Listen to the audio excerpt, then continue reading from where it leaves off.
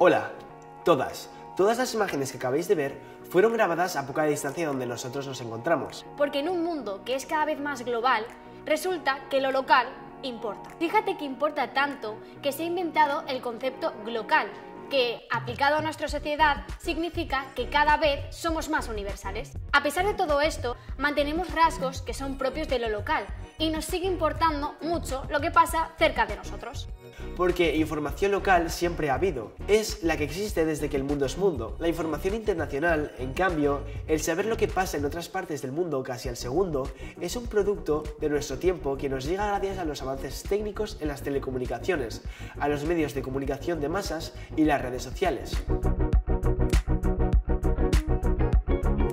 Volvemos a casa para ver cómo nos llega la información de proximidad. En España tenemos un complejo sistema de radiotelevisiones autonómicas que se encargan de dar las noticias, pero también mucho más, radios y televisiones locales de titularidad pública o privada. En ellas recae la responsabilidad de ofrecer una visión del mundo que esté lo más cercana a la nuestra, a la de los espectadores y espectadoras, muy especialmente en el caso de las radiotelevisiones públicas. Su finalidad es ofrecernos un retrato con el que podamos sentirnos identificados.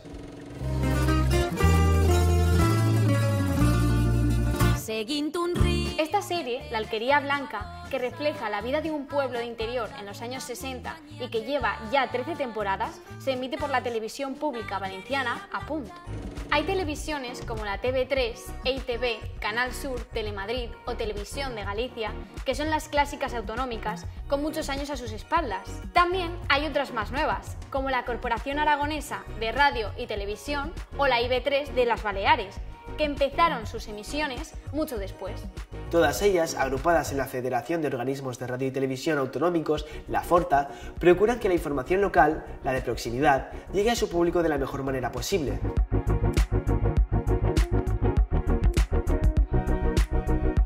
Entramos en una de esas radiotelevisiones autonómicas, Apunt, para conocer mejor la sección de local, donde todos esos periodistas y cámaras trabajan para contar lo mejor posible la actualidad más cercana a su audiencia.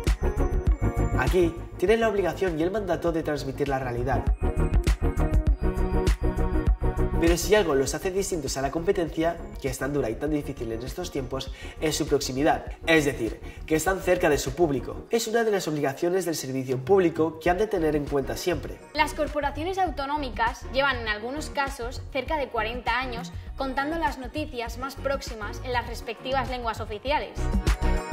A nivel estatal, Radio Televisión Española es la decana de todas las televisiones. En 1956 empezaron sus emisiones. Y fijaos, la televisión en aquel entonces era siempre en directo, porque aún no se habían inventado los magnetoscopios, que son los dispositivos para poder grabar la imagen y el sonido.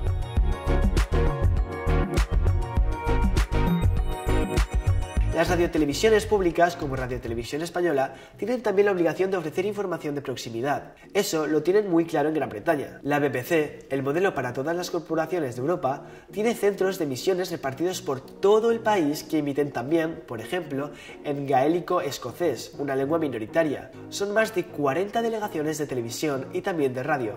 Sí, porque la información de proximidad puede llegar también solo mediante el sonido.